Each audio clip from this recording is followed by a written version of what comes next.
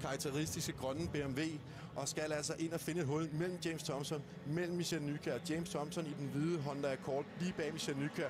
Og vi ser de røde lamper, når de slukker, det gør de der. Så er det altså Jan Magnussen, vi ser med det samme, prøver at komme ind med James Thompson, der bliver John Nielsen sendt af. John Nielsen bliver sendt af nede for en af langsiden. Det var svært at se, hvad der lige skete, men op foran er det altså James Thompson, Michel Nykær stikker af. James Thompson får lukket det hul mellem ham og Michel Nykær, og efterlader ingen plads til Jan Magnussen kan komme ind. Og Jan Magnussen må altså tage tredjepladsen, for altså kommer altså ind mellem James Thompson og Per Poulsen.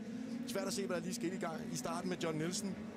I hvert fald så var det en uh, James Johnson, som, forvarede, som forsvarede inderbanen med næb og klør mod Jan Magnussen. Jeg tror, de fik stillet lidt på sidespejlene, henholdsvis højre og venstre. Ja, han gav sig ikke. Han gav sig simpelthen ikke. Jan ville utrolig gerne ind og have indersporet, og det ikke altså, forhindre i at blive hængende, kan man sige. Ej, John Nielsen, det var en skam. Nu havde vi ham lige med op foran, hvor han så gerne ville at se svært ud, som han måske lige har fået en lille shaken, but not too much stirring. Jeg tror altså, at John han har fået et, øh, et ordentligt hug baglæns. Han øh, rammer med bagenden, og der er der altså rigtig meget smadret på, da han rammer dækvæggen baglæns. Ja, det er det. Så, det så voldsomt ud, og vi har selvfølgelig safety car nu, holder her for enden af langsiden, og det er, ser også ud som om feltet allerede nu ved det hen over deres radio, og det giver et gult flag, det giver safety car.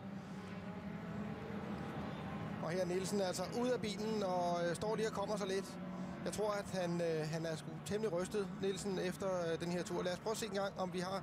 John Nielsen er altså den orange bil. Det er Per Poulsen, John Nielsen er inde med, om han kører, altså jeg vil sige, John Nielsen, der kan du ikke køre ind, der kører Per Poulsen, der er altså ikke plads til dig også derinde. Han får altså et meget hårdt hug sidelæns ind i øh, dækvæggen, John Nielsen.